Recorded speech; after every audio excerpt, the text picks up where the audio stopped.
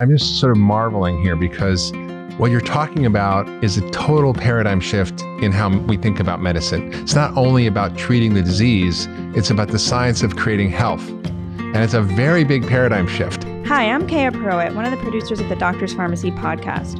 Chronic stress has become an epidemic in our society where faster is considered better and packing more obligations into your ever expanding schedule earns you a badge of honor. And while we know that chronic stress wreaks havoc on your physical and emotional well being, emotions are often dismissed during the conversation around stress. In a recent interview, immunologist Dr. Leonard Calabrese shared fascinating clinical results with Dr. Hyman about how things like joy and gratitude have been found to be beneficial to health outcomes. Let's listen in. It's well accepted that stress is bad for your immune system. I mean, classic chronic stress, you know, acute stress, run from the saber-toothed tiger, that's really good. Chronic stress of my job, my life, the environment, politics, and the world is is bad. Mm. We are now starting to appreciate that the opposite of that, uh, the immunology of joy, can be immunologically potentiating. And you mentioned a very nice example.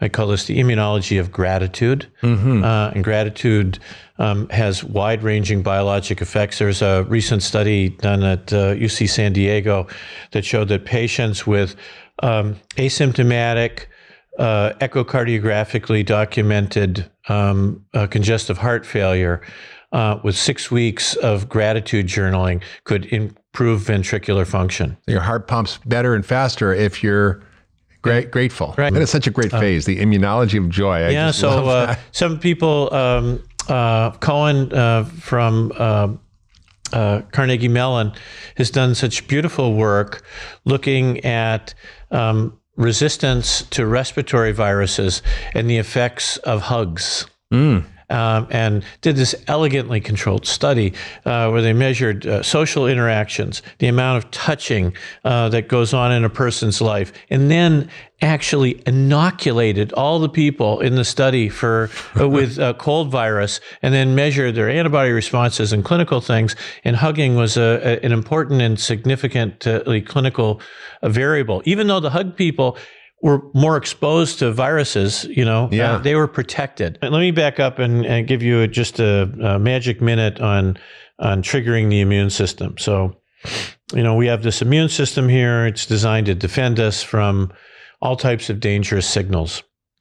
We traditionally think of that as uh, external signals such as, you know, infections, and it certainly does all that. Um, there is another set of danger signals that we are just now uh, starting to understand. And you brought up the term psychoneuroimmunology. And Mouthful. it is. It is, and it's your your psyche, your nervous system, and your immune system. Processing that is our brain, eh, by and large.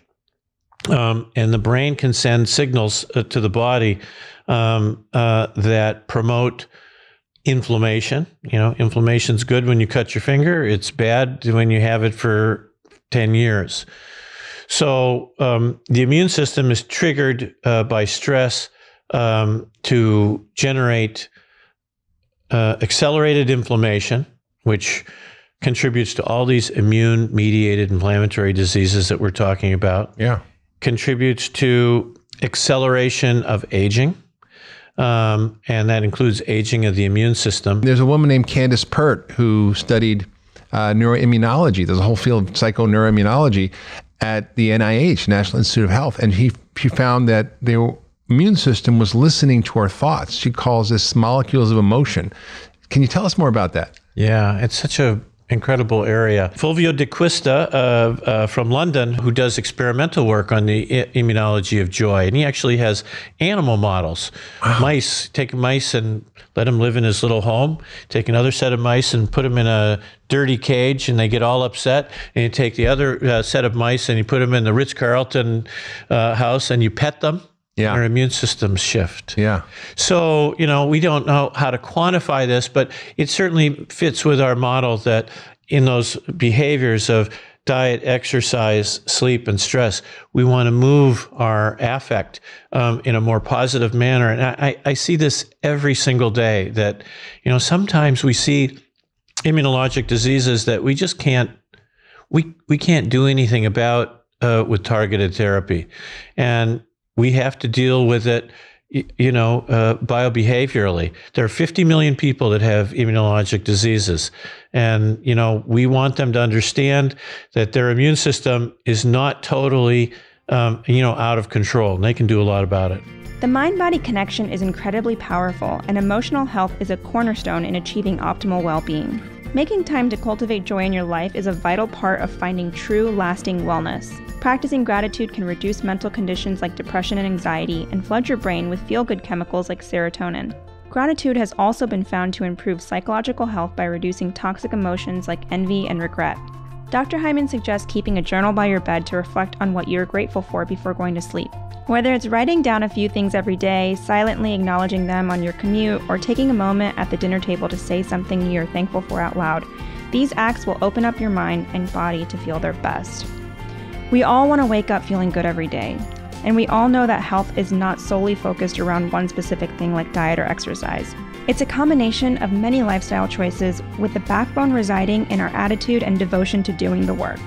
Incorporating supportive daily practices into your wellness routine will better enable you to remain grounded in joy and steady through the ups and downs of life. I hope you enjoyed this mini episode of the Doctor's Farmacy. Thanks for tuning in.